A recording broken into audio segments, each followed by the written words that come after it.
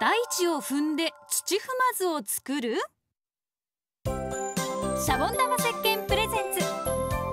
ハグハグお話が上手になったゆあちゃん。好きね。父さんも好きうん、大好き。もうすぐ1歳9ヶ月です。何？美穂ママと慎吾パパからこんな相談が子供がよく歩くようになってから転ぶことが増えました。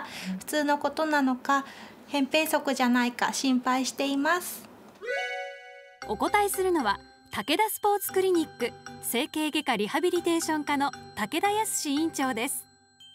子供の頃は頭の方が重いので転びやすいものです。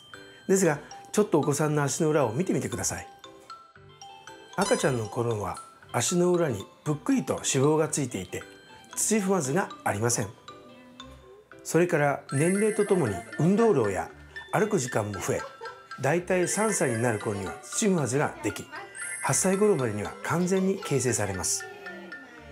扁平足自体に痛みは伴わないのですが地面にピタッと接しているため足を守るクッションがありません。なので腰や膝などに大きな負担がかかり大変疲れやすくなります。それはかわいそうですね。扁平足にならないようにする予防法を教えてください。それはズバリ足の裏の筋肉を鍛えることです。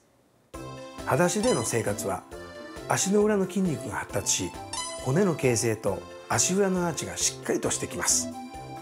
他お子さんと楽しく足指運動をして鍛えることもおすすめです。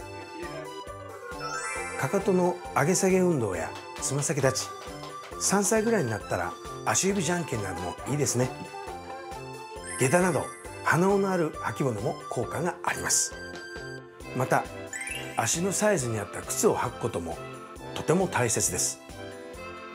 ありがとうございました。これからたくさん運動して元気な足さんになろうね。なろうね。番組では子育ての疑問悩みをお持ちの出演者を大募集 TNC ハグハグからご応募ください。